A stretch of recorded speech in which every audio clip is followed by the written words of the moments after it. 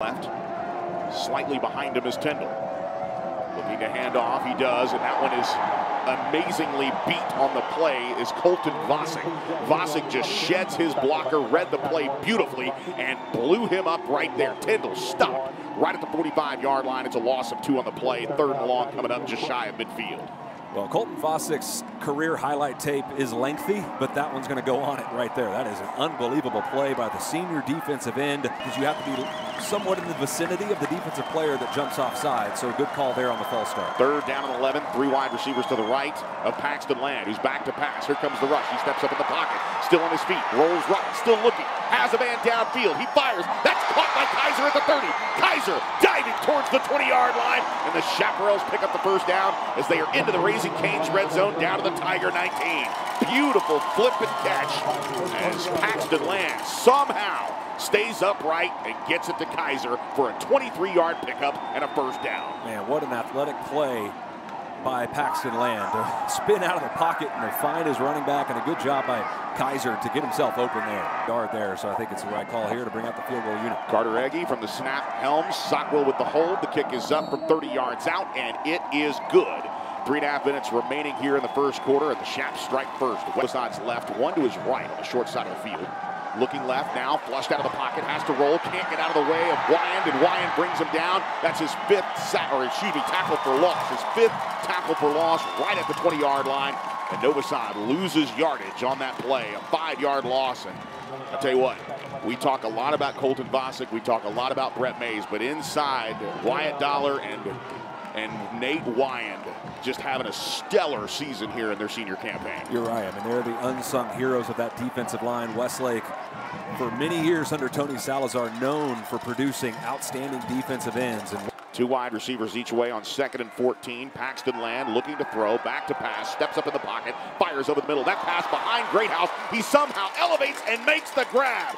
Oh my goodness, what a catch here on a pass that was just behind him. The Notre Dame commit, the three-time All-American, just leaps in and makes a tremendous grab of 19 yards and a first down. Well, they talk about a wide receiver's catch radius. this is catch radius for Jaden Greathouse. What an athletic play. Put this ball on the 18-yard line. It'll be a 28-yard attempt here for Carter Egge. Looking for his fourth field goal try here, and he makes it. So with 8.37 to play, especially with first and goal at the ball at the one. Here's the snap out of the pistol. Hand off to Tindall. He's trying to run left. Not much running room there, and he is upended after about a yard gain out to the 26-yard line. Tackle made there by Wyand, and Ingramiser there to wrap him up. See, there had a little bit of a lane there as Byers Petty. Tigers third and 14. They send a man in motion to Novosad's right. And that is Cook as a slot receiver. He's looking that direction. Novosad fires that pass at the 30-yard line as he cuts up field, but another good play there by Will Courtney as he runs down Cook. He had eyes on Cook the entire time. From the snap, his head was right on number six. Cook came up with a good pass. Great spot on the throw. But Will Courtney with a better play one-on-one in the open field. Now he's directing traffic and having Tindall come back in to his right. Two wide receivers that direction, looking to hand it off to Cook. Cook trying to get to the edge. He turns the corner, and Will Courtney drops him like third period French at the 45-yard line. Wow, what a play on Tindall. Tried to cut it upfield, and that was all Will Courtney. What a play. And that's east to west running against the Westlake defense, and a hold right there that was missed, but that just doesn't work real well. Of a very fast man and Keaton Kubecka. Second and seven after the gain of three. Land steps up, fires. That pass caught by Kubecka. Kubecka across midfield to the 30, outside the numbers, to the 20, lowers his shoulder, hops over the defender, and he's inside the Raising Cane's red zone. The biggest play from scrimmage thus far for the Chaparrals, and it goes to the Kansas commit, Keaton Kubecka. Huge play, 51 yards as Landon required, pulls him down at the end, but not before he skates across 51 yards of turf here at Tiger Stadium. Well, he's the only guy who was deep in the route for Westlake there, and man, what a throw, confident throw by Paxton Land. Long field goal here. So we have to see if it's going to be Spencer Barnett. Yes, and it is going to be Barnett that's going to try this one. And this is like John said, a ways away. This will be a 46-yard effort. Good snap out of the hold of Sockwell. It's got good distance for Spencer Barnett, and it is good. Oh With 43 seconds left, Spencer Barnett gets something out of nothing. Bartlett now thrust into the Nate Acosta role with the injury to number eight last week against Anderson. Now looking to hand off here, trying to get to the edge. Jack Kaiser does across the 30, breaks into the open field to the 10, to the 5. Jack Kaiser into the end zone. JFK scores the game's first touchdown in the opening drive of third quarter. Touchdown Westlake. Well, we were wondering if Westlake was going to break a run, and what a time to do it. In the opening drive, you can see an outside run play. Great block there by Bryce Chambers. Another one by Greathouse, Keaton Kubecka. We talk about receivers blocking downfield. That is the reason that that turned into six points for number 33. They're trying to go up tempo. Coaches from Dripping Springs sideline barking, trying to get the snap off, and now the handoff goes to Tyndall. Tyndall, not much running room, and the ball came out, and Westlake's had it. Fumble recovery for the Westlake Chaparrals, and I believe coming out of the bottom of that pile might be Byers Petty. Wow. You can see the confusion for Dripping Springs. They wanted to try and run up tempo, and Ford Thompson comes in and rips the ball out, and Byers Petty picks it up. Beautiful forced fumble and a turnover here for Westlake as they get the ball back near midfield.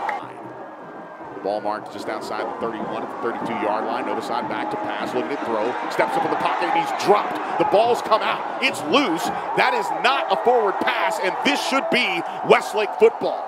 Wow, what a turn of events here as I believe that got who got in there was Colton Vasek, and Vasek knocked the ball out. For a moment, it looked like perhaps the officials would rule that an incomplete pass. I think there is a fair amount.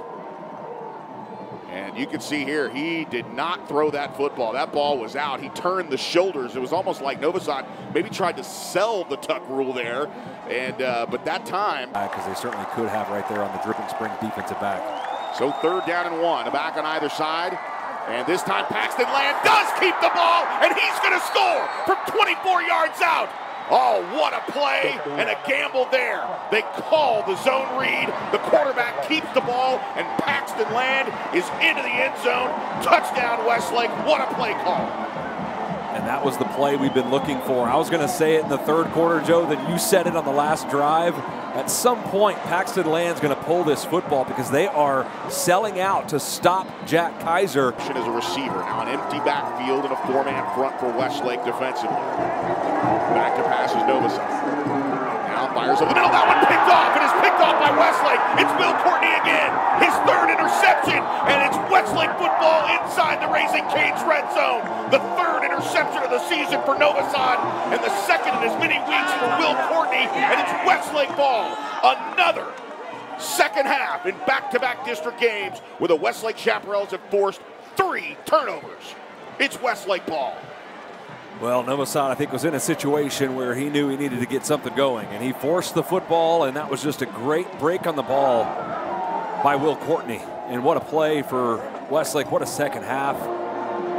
What a game just by both by both of these teams. This is what Texas high school football is all about. As you see Coach Todd Dodge on the sideline. Tell you what, retirement looks good on old TD down there. He's, you know, obviously he's trying to keep his space. He was not going to miss this game. Too big here as a fan of Texas high school football in a long time. Hall of Fame head coach. Now the play action land looking to ice this game. He's got a receiver wide open. That ball is caught by Chambers. Chambers into the end zone. Touchdown Westlake. They tried the spider two wide banana. It worked to Pap for the Dripping Springs Tigers earlier in the half. It works for Chambers as he is into the end zone. Touchdown to Novosad's ball here in the fourth quarter. By design as Westlake won the toss. Now Novosad on play action. Back to pass. The Baylor commit surveying. Fires downfield. Doesn't have anybody open but Denham Collins. He picks it off as well. Back-to-back interceptions. Now four turnovers as Collins has his first pick of the season and Denham Collins sets up the offense again. Another takeaway for Westlake as they play the play action perfectly over the middle as Denham Collins just waited for that ball to come down.